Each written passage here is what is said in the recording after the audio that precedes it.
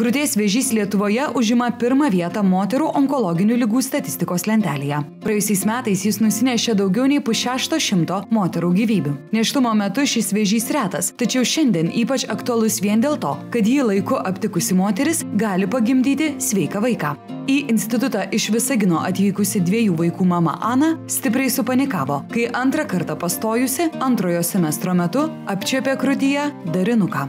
Pasakė, kad bus komisija. Negalėjau tuo patikėti. Komisijoje paklausė, ar prireikus būsiu pasirengusi nutraukti neštumą. Sutikau, nes turiu sūnų ir aš turiu galvoti apie jį. Bemiegės senos naktis baigėsi jai susitikus su gynekologe akušerė, kuri pasiūlė gydimą pradėti nuo operacijos. Po tausojančios procedūros krūtis buvo išsaugota, iki gimdymo buvo atlikti trys chemoterapijos kursai.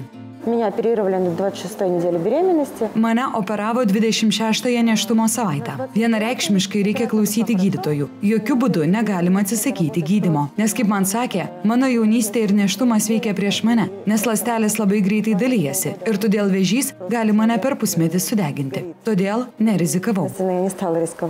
Nacionalinio vėžio instituto onkoginekologijos skyriaus gydytojas, ginekologas, onkologas, medicinos mokslų daktaras Kastytis Žilinskas paaiškino, kas pasikeičia neštumo metu ir kas atsitinka tuo pačiu metu aptikus piktybinį naviką. placenta pirmąjį neštumo mėnesį. Trimestras skiria tam tikrus hormonus, kurie mažina imunitetą ir neleidžia vaisių žūti. Taip pat pasikeičia hormo- hormonų būklė. Piktybinis navikas išskiria tam tikras imunosupresinės e, medžiagas, kurios lygiai taip pat įslopina imunitetą. Todėl anksčiau buvo ypatingai akcentuojama, taip kad vėžys ir neštumas yra labai nesuderinama, kad dažniausia e, neštumas skatina vėžio progresavimą, bet šiuo metu yra įrodyta, kad mechanizmai yra skirtingi.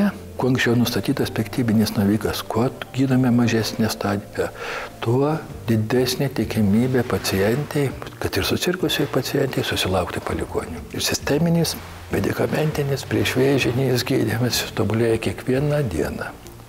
Kiekvieną dieną vis atsiranda vis naujų preparatų, vis efektyvesnių. Dar kartą noriu priminti, nebijokite, tų šalutinių poveikių yra. Bet žinokite, palyginus su gydimo efektu, jos yra minimalios. Mano pavyzdys rodo, kad viskas įmanoma. Ir pagimdyti sveiką vaiką, ir chemoterapiją išgyvenau gerai. Noriu tarti didžiulį ačiū daktarui Valerijui Ostapenkai, kuris mane labai stipriai palaikė prieš operaciją ir jos metu. Jis laikė mane už rankos ir šluostė ašaras ant operacinio stalo. Pasak Ana operavusio Nacionalinio vėžio instituto, krūties lygų chirurgijos ir onkologijos skyriaus vedėjo, habilituoto daktaro, profesoriaus Valerijaus Ostapenkos, būtina, kad tokie lygos atvejai būtų aptariami multidisciplininėje komisijoje. Mūsų gydytojai ryžosi taikyti chemoterapinį gydymą, ką jie puikiai padarė. Būtent jie šitai pacientai naudoja tos preparatus, kurie galima buvo naštoti neštų metu. Kai jinai pagimdė, o variantas lygos jos buvo agresyvus, jie pradėjo taikyti kitą gydymą biologiniais vaistais. Kitais yra preparatais, hormoniniais preparatais, tęs toliau chemoterapinį gydymą, taikė spindulinį gydymą. Tai pacientė nešia ir mes matom, kad vaikas yra normalus ir mes džiaugiamės, kad vaikas jau sveikas, kad ir jinai sveika. Nacionalinio vėžio instituto medikų dėka šiais metais vaikelius pagimdė šešios moterys, neštumo metu susirgusios krūties vėžių. Lietuvos moteris turi žinoti, kad be mamografijos, kai yra kiti tyrimai, diagnostiniai, ultragarsiniai, kur galima saugiai padaryti ir netgi jeigu neštumo pradžia būtų, mes galime padaryti ultragarsinį ty- tyrimą, kuris absoliučiai nekenkia. Net keturios iš dešimties moterų, dalyvaujančių ankstyvosios patikros tyrimuose, laiku radus lygą, pasveiksta. Gydytoja radiologija mokslų daktarė docentė Rūta Briedienė patikras ultragarsu kasmet atlikti rekomenduoja visų amžiaus grupių moterims.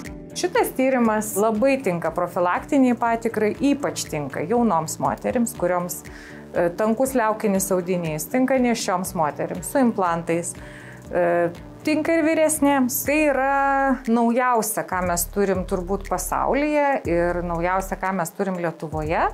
Jisai vadinasi automatizuotas ultragarsinis tyrimas. Šiuo atveju daviklis automatizuotai keliauja per moters krūtį standartinėse projekcijose ir jeigu mes tirsim kitą kartą moterį, tai mes gausim labai panašų vaizdą standartinėse projekcijose. Matom ir iš tiesų pokyčius milimetro dydžio ir tokius pokyčius tikrai galima sėkmingai gydyti.